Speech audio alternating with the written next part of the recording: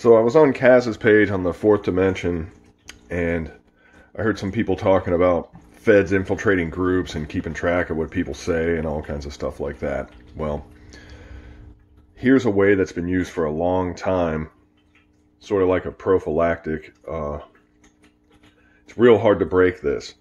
There's no electronic algorithm they can run it through. There's no, uh, you know, you, you can't break it, basically. So what happens is people that are known to be trusted with each other, they pick up the same book. In this case, it's 13 hours, which means if I'm doing this with someone, it's not going to be this book, obviously, because then I would have just outed myself.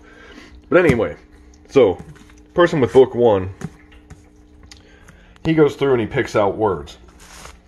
So we're going to throw this book to the side. So this guy with this book, he says 10143. So we run to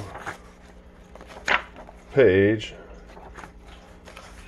101, fourth paragraph, one, two, three, four, three.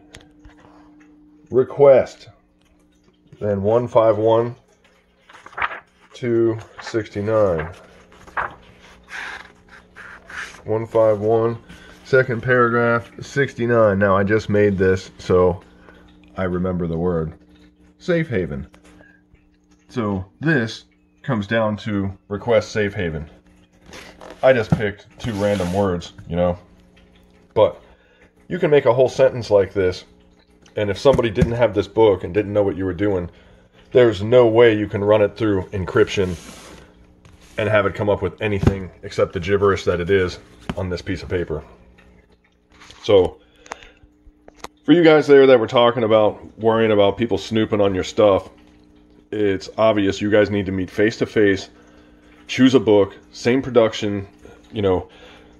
You can't get first edition and fourth edition because it might be different. You know, it has to be the same publication, the same printing time, and all that stuff. But you get yourself a case of books. It could be the Bible if you wanted to do it that way, but it's all got to be the same book.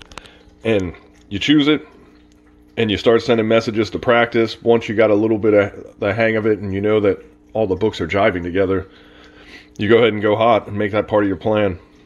You can do this stuff over the radio. So you can mix your ham and your book encryption together and you'd be unstoppable. I mean, wow. You'd almost be like, you know, spec ops status. Anyway, there you go.